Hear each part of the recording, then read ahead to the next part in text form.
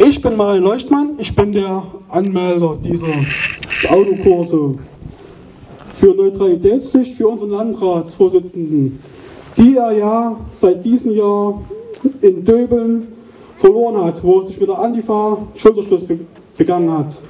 Und die auch in Freiberg, wo er die Klimakleber, die letzte Generation, als seine Freunde bezeichnet hat. Der gute Mann ist von uns Mittelsachsen der größte Feind. Das zeigt er jetzt immer wieder in seinen Taten. In, sein, in seiner Antritt, das war die erste Märchenstunde, aus völlig parteiloser Landratskandidat. Er wurde aber unterstützt von SPD, Grüne und Linke. Und jetzt zeichnet sich schon der Weg ab, dass der linksextremistisch ist. Von den drei Parteien haben sich ja alle drei Parteien zur Antifa bekannt in diesem Jahr spätestens. Dazu kommt auch seine politische Arbeit, wie es mit dem Asyl, wie mit, der, wie mit dem Strom, also Energie und Straßenbau. Beim Asyl haben wir gemerkt, waren seine Worte in Freiberg mal vor uns, wenn zu viel Immigration nach Mittelsachsen kommt, wird er sich vor seinen Bürgern stellen. Das haben wir im Griebetal gesehen letzten Jahres. Dort wurden die Rentner aus dem Heim gehauen, aus der Tagespflege. Da sind jetzt zwölf Omas drin. Das hat er gezeigt in Rochlitz. Da wurden die Verträge mit den Lehrlingen gekündigt. Das war ein Lehrlingswohnheim. Die, sind jetzt auf, die, die müssen jetzt, jetzt weiter anreisen. Und das haben wir auch gesehen in Frankenberg. Dort wurde ganz einfach mal Mietshäuser gekauft von Kreis Mittelsachsen. Und in den Mietshäusern, in den leeren Wohnungen, sollten ja dann seine Fachkräfte und Goldstücke einziehen. Die Mieter dieser Häuser sind mittlerweile ausgezogen, weil die das ja auch nicht wollen. Jetzt hat die Häuser für sich. Und bei der Energie, Windräder, hat er ja gesprochen zu uns, wenn es ihm möglich ist, will er nicht gegen den Bürgerwillen vor Ort die Windkraft durchsetzen. Er wird prüfen, ob er andersweitig die Windräder freigeben kann und dann dort die Genehmigung entziehen. Aber zurzeit setzt er überall dort die Windräder durch, wo sie genehmigt worden sind. Gegen den Willen der Bürger. Wir sehen es in Oberschöna, wir sehen es überall anders, dass überall anders auch dagegen Tag für Tag die Banner gegen die Windkraft. Und morgen ist übrigens so ein Tag, der 26.02. ist in der Julius-Weißbach-Schule bei der Dresdner Straße in Freiberg eine Sonderbekanntgabe dieser Windräder, wo die überall entstehen sollen, zwischen 19 Uhr und 21 Uhr. Da hat der gute Mann ja ein bisschen Angst vor den Bürgern, deswegen ist dort auch ein Wachschutz, der den Einlass kontrolliert, wer rein und rauskommt. Dann das nächste ist, wenn wir das verhindern wollen, dass dieser Mensch so weitermacht, wie er bisher weitermacht, dann müssen wir zu den Wahlen gehen und auch in die Rathäuser unterschreiben für die Freien Sachsen, dass wir antreten dürfen für den Kreistag. Weil das sind unsere Ziele, die kommunale Ebene. Dass wir solche Menschen auch aufdecken können, was die Tag für Tag gegen die Mittelsachsen treiben.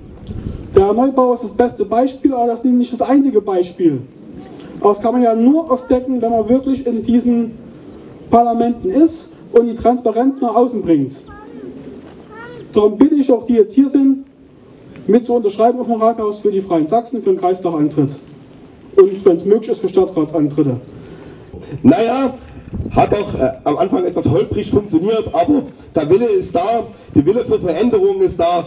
Wir sind hier hergekommen, wir haben uns den Sonntag hier, äh, ich sage mal mehr oder weniger, geopfert, um den Herrn Neubauer natürlich auch Sonntagsgrüße zu bescheren. Auch wenn wir vielleicht hier noch nicht äh, hunderte Autos sind, das kann ja noch werden.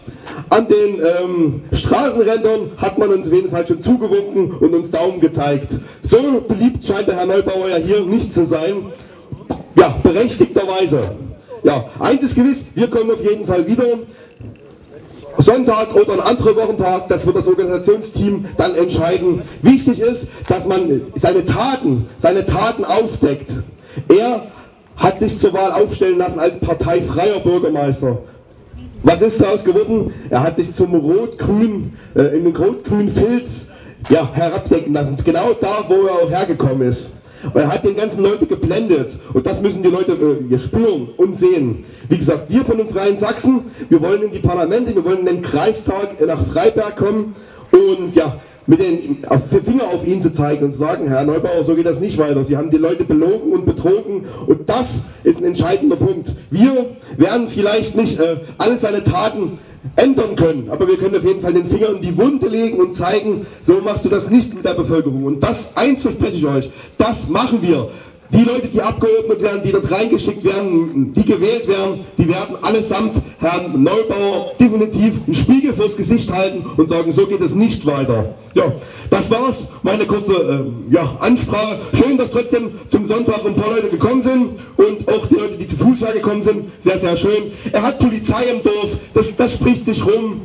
Er soll, eigentlich soll er jeden Tag äh, mit seinem, ist, in, an, im Angst, an Anführungsstrichen leben sollen. Angst für die liebe Presse, nicht für irgendwelche Anschläge, wie Sie vielleicht vermuten, sondern einfach nur Angst, dass die Bevölkerung endlich mal aufwacht und sagt, Herr Neubauer, Sie sind einfach ein Lügner, Sie sind ein Spalter und Sie machen die Gesellschaft kaputt. Und nicht wir, die äh, Bürger aus der Mitte, die sich ständig verunglimpfen mit irgendwelchen, naja, Verschwörungstheoretiker, Reichsdeutsche. Ihr kennt die ganze Geschichte ja.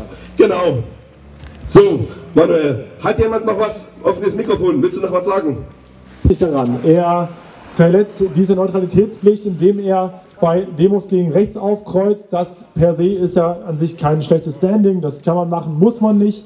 Wo es aber kompliziert wird, ist, wenn er sich mit Extremisten auf einem Platz stellt, ablichten lässt und das hat er getan mit eben ganz konkret der Antifa. Und ich möchte da auf sein Buch tatsächlich, was er geschrieben hat, auch ähm, eingehen. Er hat geschrieben, das Undenkbare zu denken und das Unsagbare zu sagen. Und ja, das macht er. er. Es war bis vor kurzem wirklich undenkbar, dass politische Ämter, klar, Korruption ist nicht erst seit gestern im Spiel, äh, bei allen Ämtern, nicht bei ihm unbedingt explizit, aber dass man solche Verpflichtungen bricht. Und das nenne ich jetzt mal leicht fahrlässig getan. Ähm, ja, und in dem Fall ist es etwas Undenkbares geworden und dann sage ich eben auch das Unsagbare. Ja, dann muss man diese Politiker öffentlich auch darüber berichten, das Ganze offenlegen und das tun wir. Zum Beispiel in vier Wochen wird es eine Folgeveranstaltung geben und dort werden wir nochmal explizit auf einzelne Punkte eingehen, die er sich mehr zu Schaden kommen lassen hat, als jetzt nur in Anführungsstrichen die Verletzung der Neutralitätspflicht. Aber das ist der springende Punkt für die Veranstaltung heute, damit ihr nochmal hier wisst, die Anwohner, weshalb sind wir denn hier? Der Landrat für Mitte Sachsen, und das ist der größte Landkreis in Sachsen, ist Neutralität, Neutralität verpflichtet und er hat das aktiv, er hat es gebrochen und bricht es auch weiterhin aktiv, indem er hetzt, und sich mit Extremisten ablichten lässt. Das ist in keinster Weise in Ordnung und ja, das ist der Grund, warum wir heute hier sind. Ihr könnt gerne hierher kommen, wir reden, kommen ins Gespräch. Wie gesagt, in vier Wochen gibt es eine Folgeveranstaltung. Ich nehme an, die Hohen Fichtner, die sind sehr schlau. Vielleicht möchte sich dort der eine oder andere auch mit einbringen. Und ja, danke fürs Zuhören.